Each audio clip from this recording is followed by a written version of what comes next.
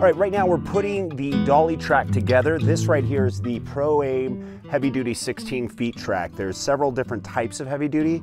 Uh, this is the one that actually folds up. Each track is in four foot sections, which is really nice. It's basically toolless. The only thing you have to do is uh, you don't have to take out any screws or anything. It's all like screwless, I guess you would say. Put that in there. You're gonna go ahead and loosen this up with the tools they give you, which is really nice. I gotta say, I, I, love the fact that I have every Allen wrench known to man now thanks to Proaim. So that's kind of cool that they include all that stuff, the cool ones. All right, so we got that tightened up.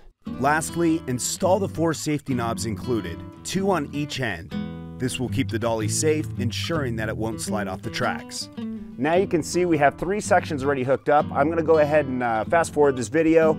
Uh, we're gonna go ahead and add another track and then we'll be ready to put the skater uh, platform on there where you just basically put these wheels on, you don't have to change any wheels. You just basically set it and forget it.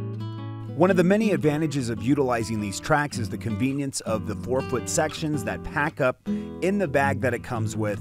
Always a convenient factor there, and the fact that it works with a variety of doorway dollies created by Proaim.